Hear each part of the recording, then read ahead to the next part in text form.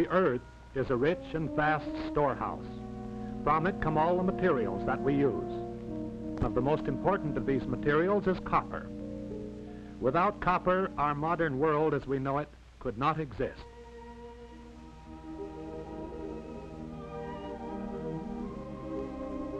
Copper is found in many places throughout the world.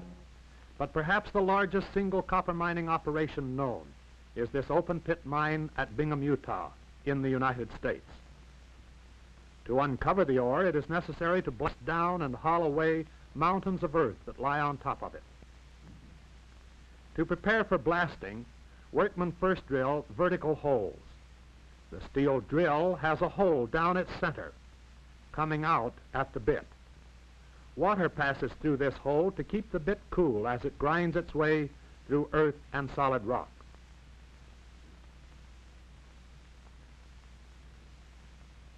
When the drilling is done, a long blowpipe is dropped into the hole. Air under pressure is blown in, shooting out all water, mud, and loose dirt, leaving the hole clean and ready to be loaded with dynamite. Horizontal holes are drilled in the same way. Explosions in these holes cut out the bottom of the walls to keep them even. Explosions in the vertical holes blow down the great masses of earth and on lower levels of ore.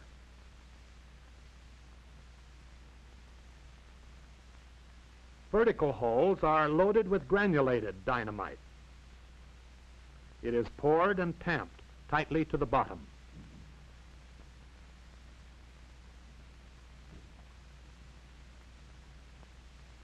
Stick powder is used in the horizontal holes. About 375 pounds of powder are loaded into each one. It also is tamped solidly to the end.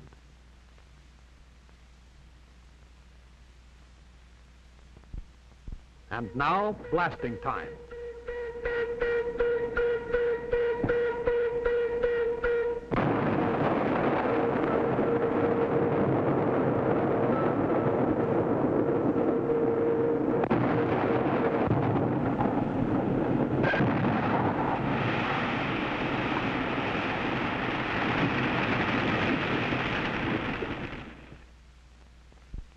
After blasting, the great power shovels go to work to haul away the earth that covers the ore. Trains of empty 100-ton cars are run into the blasted down sections, and the shovels begin loading. 125 cars of earth are moved to every 100 cars of ore.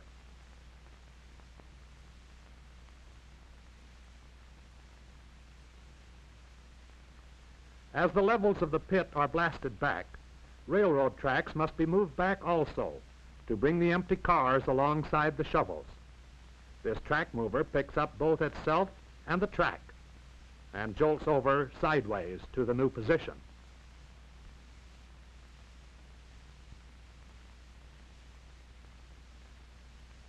In the lower section of the pit, ore is loaded.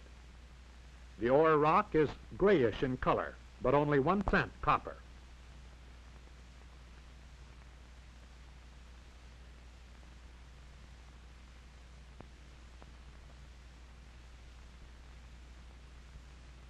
Sometimes you find richer pieces with so much copper mineral you can see it in the rock. As the cars are loaded, they move out of the pit and are coupled with others to make up a single long train. Then they head for the mill. Arriving here, the train is split up and a few cars at a time are backed into the tipple for dumping. Two cars move on and are turned upside down.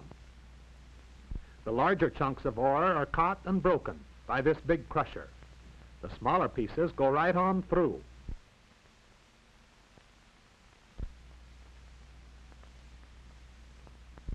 Then the ore moves on conveyor belts from one crusher to another, being ground into finer and finer pieces.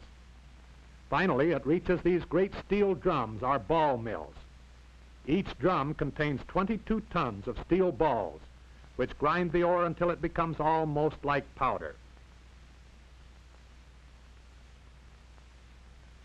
New balls are added every day. and when they come out again, they're almost worn away. In these ball mills, too, water is mixed with the ore, which now is so fine and powdery, it makes the water muddy and thick as it leaves the big drums. Chemicals that make froth are added next. ore particles containing copper stick to the frothy bubbles which rise to the top of the water. This is called the flotation process because the powdery particles containing copper, known as copper sulfide, actually float to the top with the bubbles. Now this froth is drawn off the top, while the mud and waste are drawn off underneath and carried out to this dump, which covers seven and a half square miles.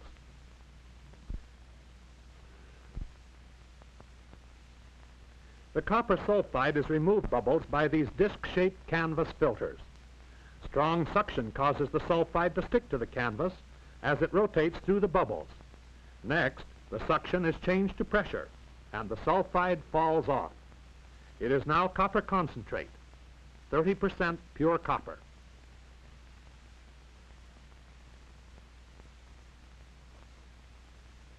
From the mill, the concentrate goes to the smelter, where it will be made 99% pure copper.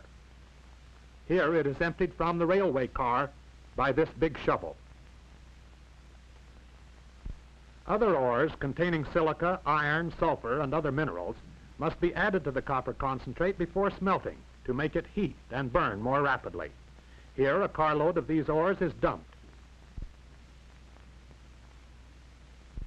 After the ores have been added to the copper concentrate, the mixture is hauled to the roaster.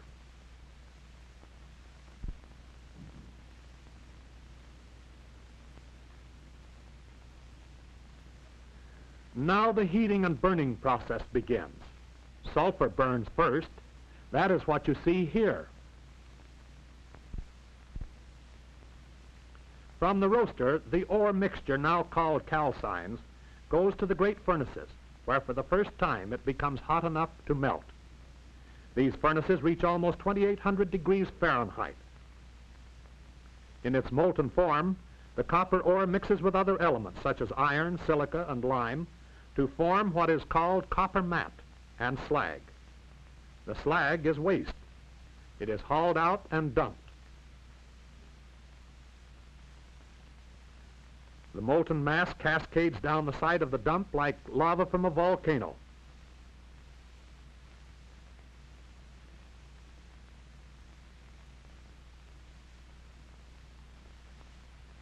Back inside the smelter, the molten copper matte is drawn from the great furnaces in huge buckets, handled by overhead cranes. It is now dumped into the converters. This long section of the smelter is called the converter aisle. It is filled with noise, smoke, and heat.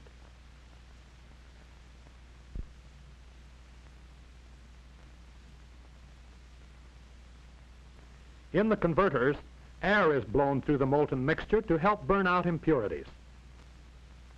Finally, there remains the molten copper, approximately 99% pure. It also contains small quantities of precious metals, such as gold and silver.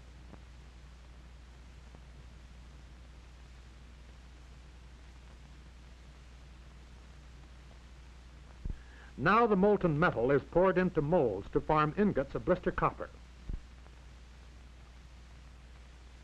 They are cooled by streams of water.